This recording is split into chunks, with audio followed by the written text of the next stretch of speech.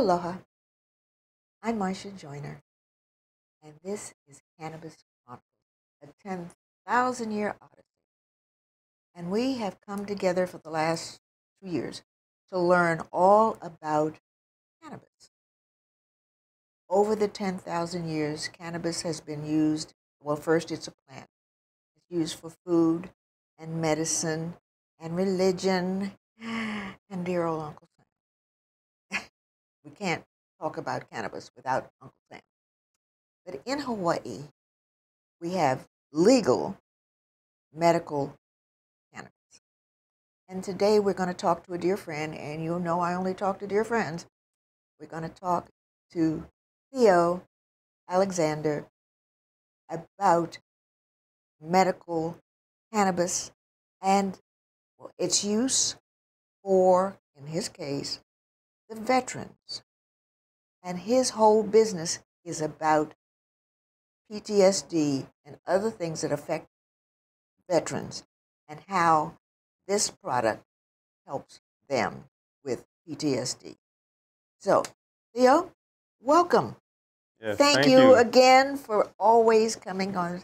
Tell us how you got started with Camo, or what what what does Camo mean? Uh, Camo, and thanks for having us on the show. It's always a good time um, with good friends um, to come on and talk about what we're doing, uh, helping to evolve our state's 329 program. Uh, What is a more three two veterans- nine?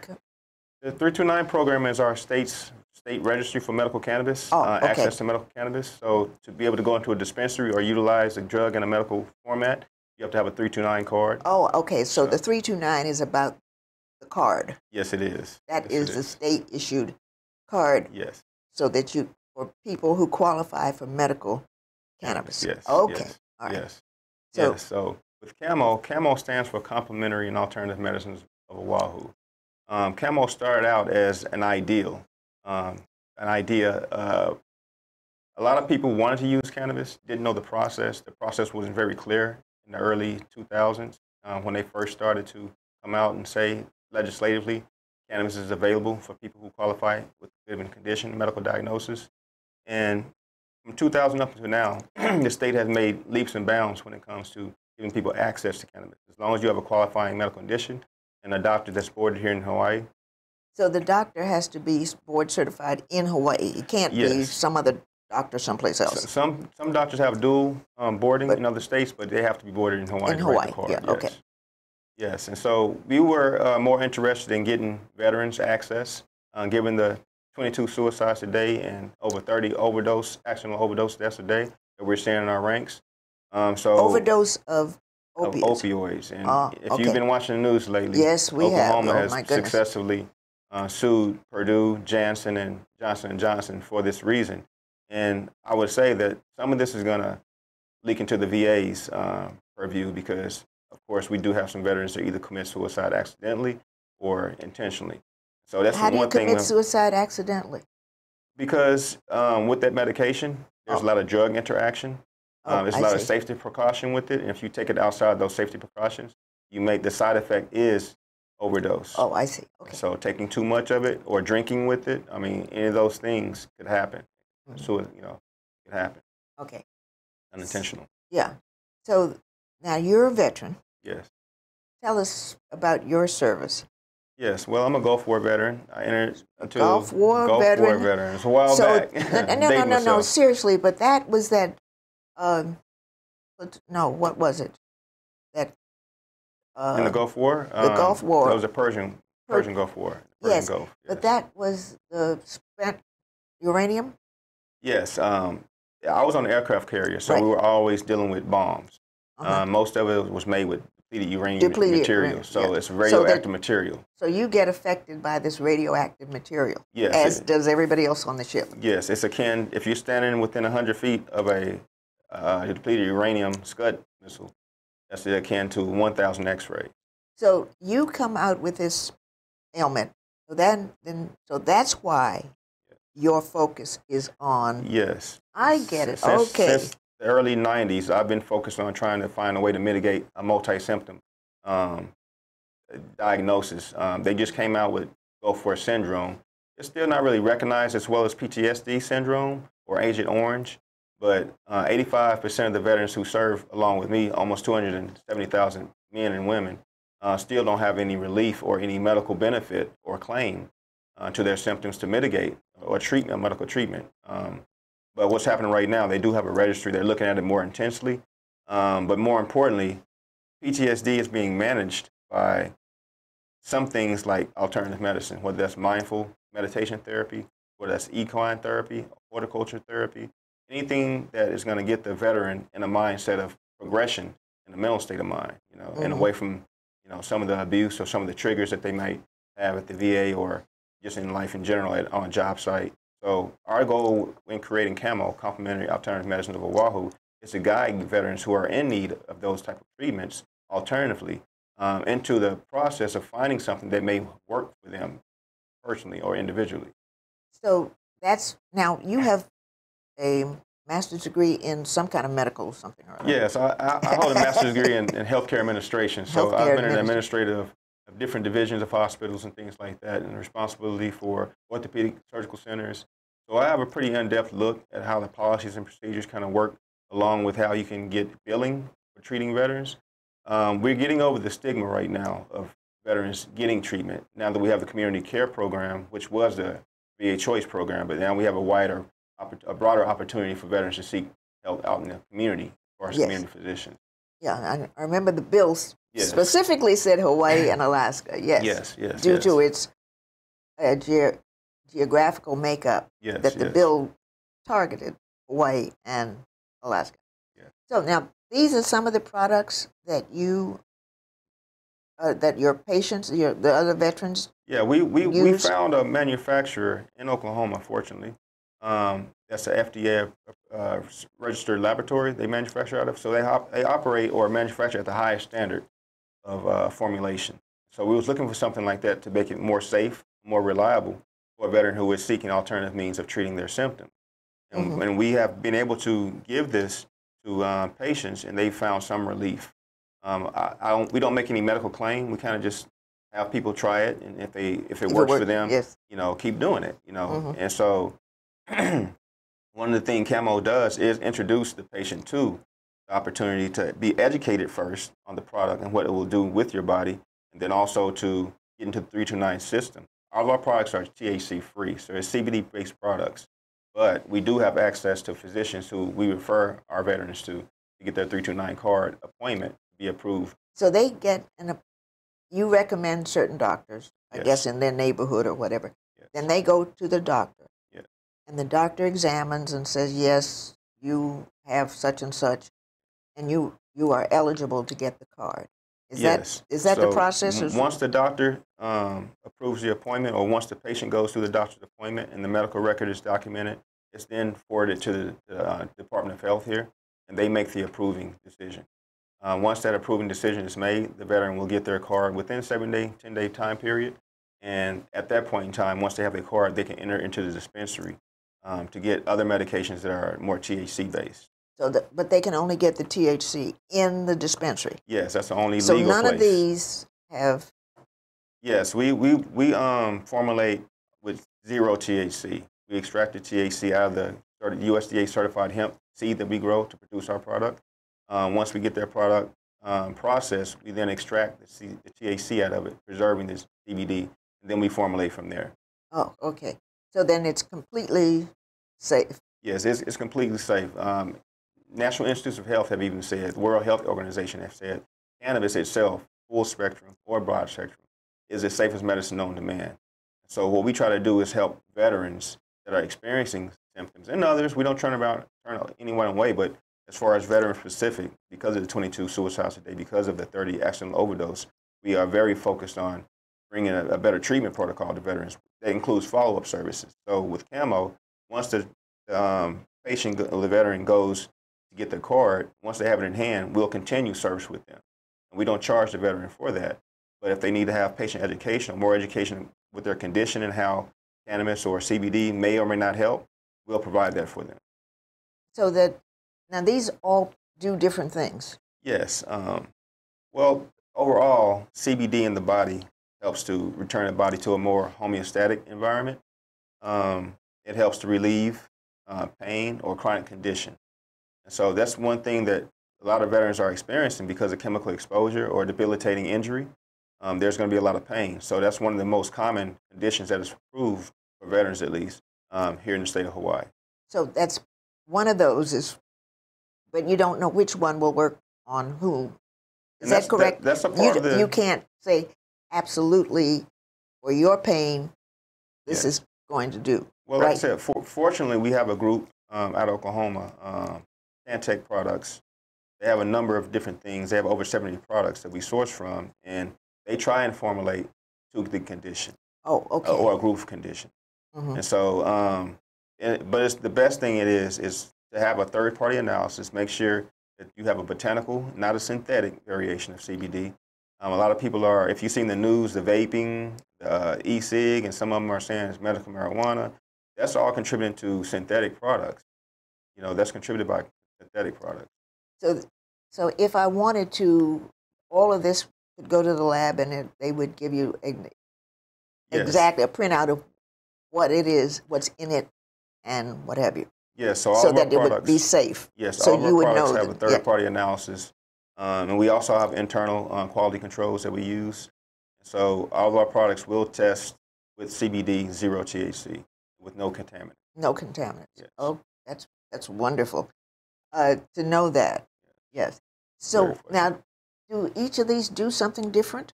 Well, we, we, we advise that with the pain balms, Which the is pain, pain. balm right here. Yeah. So that's a deep penetrating. It That- helps so to you- soothe, helps rub to it on. mitigate. It goes into the CB1, CB2 nerve endings and helps to re- relieve pain. So, Uh, but you, you don't ingest that. You No, you, the application is usually it's a topical. So you rub it on in the acute area or in the infected area. Uh huh. And what is this lavender? So the lavender is our massage oil. We have lavender and peppermint. It's really good for for massage. Uh, a lot of our massage uh, therapists that are associated with us that we refer to will use that to help the patient um, decrease the pain? inflammation. Inflammation. Inflammation. Yes. Uh huh. And then here we have our one of our newest products called Active Duty RX, and this is for uniform personnel, whether you're a first responder or a person in uniform. Some people have told me that you know, being in uniform, they've been advised through the medical association, or the, you know, that they cannot have any cannabinoid in their body, and I leave that between them and their doctors, and whatever regulations they have to abide by in uniform. But some of our firefighters, our policemen, our EMT personnel, they take these products on a regular basis. Uh, so that one would be safe for them. Yes, and, and that's our PTSD formula. So again, no medical claim, but we've seen some, some symptoms that are mitigated by the doctor's uh, documentation. But Mhm. until we get the health department to advocate for us a little better and give us more of a, a guideline to go by as far as what these conditions can help with, if you look at the conditions that qualify a person for the 329 card program, um, these are some of the same conditions that CBD is going to help with. So, I mean, hopefully we But- can get them to have, have more, a little bit more advocacy. Well, now for these, do you need a three two nine card? Not at all, not at all. You don't have to have a card. when, when you come to our services or when you enter, enter to our website, um, 808camo.org, by the way, uh, you, you will find that we will help you through the process. A lot of this is education. Right. Pro- Proper learning will give you the understanding of what you can do, how you can do it. And then we also have the products that you can experience. But with the 329 card program, you definitely have to have a medical evaluation from a boarded Yeah. physician. Okay. Well, we need to take a break. And when we come back, we're going to talk to another member Yes. of CAMO. And he is going to tell us about your upcoming stand down. Yes. Okay. Yes, we're excited about that. Yes. All right. We'll be back in one minute. Thanks to our ThinkTech underwriters and grantors, the Atherton Family Foundation, Carol Munley and the Friends of ThinkTech, the Center for Microbial Oceanography Research and Education, Collateral Analytics, the Cook Foundation, Duane Kurisu, the Hawaii Community Foundation, the Hawaii Council of Associations of Apartment Owners, Hawaii Energy, the Hawaii Energy Policy Forum, Hawaiian Electric Company, Integrated Security Technologies, Galen Ho of BAE Systems, Kamehameha Schools, MW Group, the Scheidler Family Foundation, the Sidney Stern Memorial Trust, Volo Foundation, Yuriko J. Sugimura. Thanks so much to you all.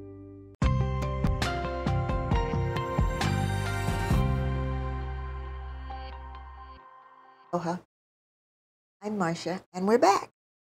And today we are talking about the 329 stand down. Is that, did I get it right? Veteran That's stand down. correct. Okay. And we're talking to James, JT as we call him. And you. you've met JT before. Very glad to be JT is Thank you for having us. also one of the board members of CAMO. And uh, what is your position with CAMO? mostly the community outreach. I like to be more hands-on. Yes. Community outreach. But now you're studying nursing, are you? yes, that's actually uh, my passion. The first aid, first responder is something I really enjoy doing. I intend to go orthopedic surgeon eventually. Though, Oh, so great. I want to get my doctorate. So, but you you are a veteran. Yes. You and you were an, a medic. Yes, I was a medic. I was stationed here at Schofield Barracks for a while, and I taught first aid and combat lifesaver courses. So you know firsthand about Oh, yeah. all of the ailments and problems with veterans. That's actually what drove me to start help start the organization that we're working. Uh, coming home with transition and transitioning with PTSD and other friends and neighbors PTSD. A lot of homeless veterans here in Hawaii also have, so it was only right to you know reach out. So now tell us about this event that's coming up. We have a poster about the 329 Veterans Stand Down. Okay, what is a stand down? Stand down is where you get a group of organizations that all have a similar uh, goal, similar focus. And in this case, it's helping veterans get to help raise awareness of the medical usage of CBD, medical cannabis, and to put out more information for the state 329 program. Okay, So help the State Department of Health help to advocate for uh, proper use and proper dosing. well, now with what is the word stand down? Because most people say, well, what is a stand down? I mean, for those of us that have spent our lives with the Uncle Sam, we know what a stand down is. But tell us, our audience, what is a stand down? It's basically where we you come and you get services or uh, we, Veterans. Yeah, um, we don't turn anyone away, but it's initially for veterans, primarily for veterans. Yeah. So, but even active duty, don't they have stand downs? They do actually, um, more so after deployment, after we come home and we've been debriefed already. Then there are groups or organizations who provide different information um, for, about resources that are available for the soldiers when they come home to help with their transition back into society, reintegration. Is that what a okay Yes, that's yeah, that's the goal of the stand, down. stand down. down is to? Mhm. Oh, okay. So now you're going to have this stand down. Tell us what's going to happen. We have a lot of good speakers coming in, uh, mainly Dr. Sue Sisley. Tell us is- about about her. Uh, yeah. Dr. Sue's amazing. She's been advocating for veterans' use for CBD and clinical studies for a lot of years now, actually. She has her own institute uh, in Arizona, I believe. She's been doing amazing uh, research. She was, at the time, the only doctor who was approved by the FDA to do the uh, research. So it's really amazing that we have her on board to So she's. Done the clinical trials, right? Right. Oh, wow. Amazing. The only one, huh? The o- right. Is the that what you said, one. the only one? Right. She was Yeah. the only one who was approved. So she'll be here to talk to you about her findings with her. yes. So, and then do I understand that she's okay? That this is about her findings for how cannabis helps P- with PTSD. yes. Is that Um, that would be correct, as well as also to help to inform the community, the local community. Not everybody, a lot of people are more interested in CBD now that the laws are changing, but they still don't necessarily know where to go to get proper information. And there are a lot of not uh, clean, not good products on the market. So to know what you're using and to get you know just all around better you know quality of information. Well, yeah, because you know the ABC store sells. Everyone There's a service station that sells it. It's like right, what? but if you check the labels on a lot How of those, how do you know? Right, and that's the that's another reason why the three two nine stand down is so important because we put out the information.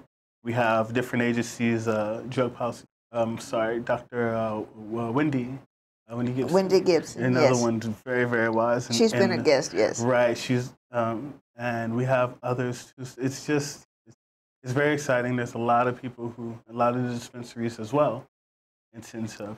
So that they will. Uh, te- there's so this is an information briefing as well as absolutely, the product. absolutely. So is there anything special? So your the doctors will be there that give uh, Right. your the- your flyer said free. So what's free? Okay. The we cover the venue and we cover the doctor. but it says that you're going to give free cards, free cards to certain people. free medical evaluations, right? We cover the cost of the doctor's evaluations. Initially, Oh. when a, doc- a lot of the doctors, uh, the evaluation costs 100 200 300 dollars sometimes, depending on where. And a lot of the patients are on fixed income; they cannot afford that. So we cover that fee, and all this patient has to pay is the 38.50 to the Department of Health. We cover the other fees. So you cover all those fees. Correct. So you're for for the veterans that show up Right. that you're going to cover that. That's great. We're trying to get it to become a service just across the board to where veterans or people can come to us and we can actually cover that cost. So another reason why we're fundraising big this year. So is there a charge to, to participate? No, There's no fee to participate. The only fee is the thirty-eight fifty to the Department of Health. So that every veteran, Absolutely. every what about active duty? Can they come too? They can come to get information if they would like. As far as I know, I think it's still not, CBD is not available for active duty yet because of regulations. But um, if they're looking for information or different, anyone looking for information on a stand down, how to help veterans in CBD uh, should come. Well, will there be other topics other than CBD and There will, depending on which speakers are speaking. we have uh, a, a nice, at least about 10 different people who intend on coming. And so it, It's okay, so we have Dr. Wendy Gibson, and she's been, uh, she is amazing. right? I, I, so much of what I learned I've gotten from her. yeah, from- she's definitely yes. a, a, a trailblazer in the yes, my, my introduction to her was Cannabis 101. Yeah, she's right. Yeah, she's very smart. Yes. She has a lot of passion. I like watching Wendy go. yes. And Uh, Will Espero, hopefully, Will- also. Senator Willis- Espero. Uh, correct. Yeah, Senator Espero. And he's doing Uh, television now, huh? Right, yeah, he's doing the High on Art, the Hawaii and the art one. He's also doing uh, cannabis-oriented uh, television show too. Yeah. Yeah, because he was one of those when he was a senator with the very beginning of this whole movement of- of medical cannabis. Him and uh, Senator Gabbard. who Yes. Hopefully, we can get to. Is he Come. coming?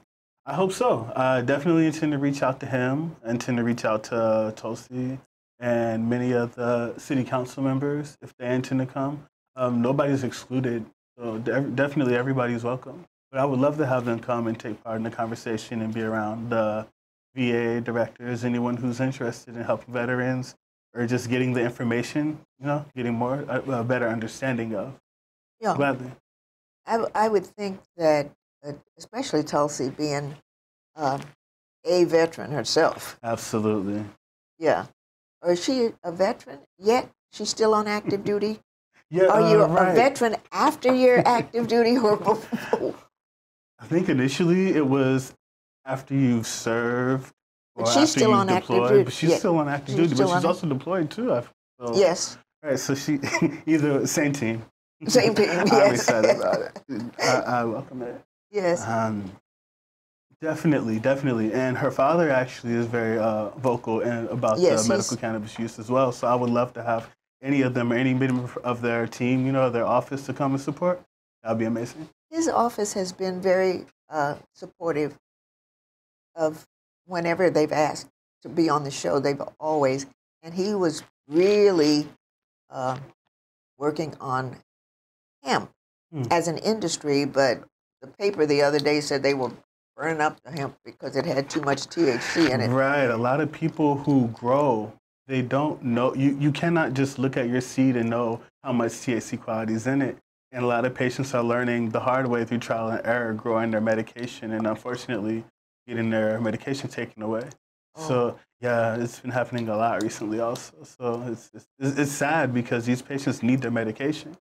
We need someone who actually has hemp seed, you know, CBD high strains, to you know to step in and to Yeah, help because the card So says you can grow your own, but right how would I know how to grow it? all of that. So that's another reason why this event's so important. We have different um, local growers, patients who are knowledgeable in that field who intend on coming also. So What? So you have somebody that could guide you through the growing process? There's a there are actually a couple of farms out here that help disabled veterans to, for therapeutic purposes to grow and to show. Uh, Camo actually we we had an older office where we taught classes, but because the classes became so large and our office was so small, we right. Now we have our kiosk over at the Ohana Hale Marketplace where people can come, but we still, you know, we need But- a larger space. For, Yeah, and you for but the fundraising grow, for that the also. grow, and- because if if I got ten plants, I don't Mhm. know. I mean, you have to where- get them all where- tested. where do you grow? And if you live in a Right. in an apartment, how would you grow? A 10 lot of plants? places don't have uh, a regulation or anything set in place for patients to grow their medication where they live. That's another um, hot So, button so you all are doing that also. advocating for that. Yes. Okay. Well, listen, we are just about out of time. One more time. Uh, the flyer, can we look at the flyer one more time? And we have, it's all ready to go. And thank you so much. Thank and we'll see you next time. Bye. Aloha.